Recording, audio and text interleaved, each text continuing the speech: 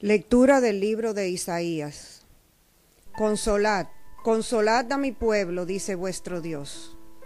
Hablad al corazón de Jerusalén. Gritadle que se ha cumplido su servicio y está pagado su crimen, pues la mano del Señor ha recibido doble paga por sus pecados. Una voz grita, en el desierto preparadle un camino al Señor allanad en la estepa una calzada para nuestro Dios.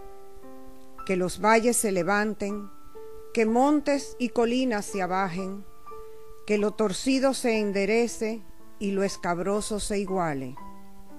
Se revelará la gloria del Señor y la verán todos los hombres juntos. Ha hablado la boca del Señor. Súbete a un monte elevado, heraldo de Sión Alza fuerte la voz, heraldo de Jerusalén. Álzala, no temas. Di a las ciudades de Judá, aquí está vuestro Dios. Mirad, el Señor Dios llega con poder y su brazo manda. Mirad, viene con él su salario y su recompensa lo precede. Como un pastor que apacienta el rebaño, su brazo los reúne, toma en brazo los corderos y hace recostar a las madres. Muéstranos, Señor, tu misericordia y danos tu salvación. Voy a escuchar lo que dice el Señor. Dios anuncia la paz a su pueblo y a sus amigos. La salvación ya está cerca de sus fieles y la gloria habitará en nuestra tierra. Muéstranos, Señor, tu misericordia y danos tu salvación. La misericordia y la fidelidad se encuentran, la justicia y la paz se besan. La fidelidad brota de la tierra y la justicia mira desde el cielo. Muéstranos, Señor, tu misericordia y danos tu salvación. El Señor nos dará la lluvia y nuestra tierra dará su fruto. La justicia marchará ante él la salvación seguirá sus pasos. Muéstranos, Señor, tu misericordia y danos tu salvación. Segunda carta del apóstol San Pedro. Queridos hermanos, no deben ignorar que delante del Señor un día es como mil años y mil años como un día. El Señor no tarda en cumplir lo que ha prometido, como algunos se imaginan sino que tiene paciencia con ustedes, porque no quiere que nadie perezca, sino que todos se conviertan.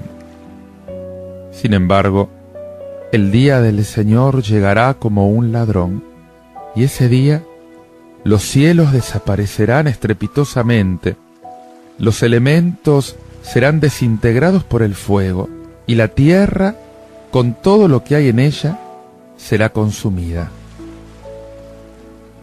ya que todas las cosas se desintegrarán de esta manera, qué santa, qué piadosa debe ser la conducta de ustedes, esperando y acelerando la venida del día del Señor. Entonces se consumirán los cielos y los elementos quedarán fundidos por el fuego, pero nosotros, de acuerdo con la promesa del Señor, esperamos un cielo nuevo, y una tierra nueva donde habitará la justicia. Por eso, queridos hermanos, mientras esperan esto, procuren vivir de tal manera que Él los encuentre en paz, sin mancha ni reproche. Santo Evangelio, según San Marcos. Este es el principio del Evangelio de Jesucristo, Hijo de Dios en el libro del profeta Isaías está escrito, He aquí que yo envío a mi mensajero delante de ti a preparar tu camino, voz del que clama en el desierto.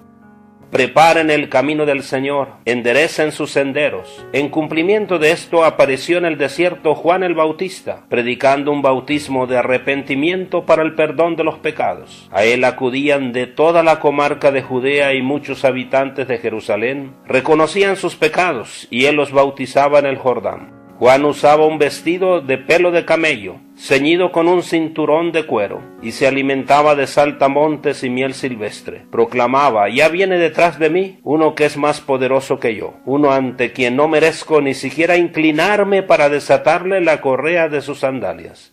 Yo los he bautizado a ustedes con agua, pero Él los bautizará con el Espíritu Santo.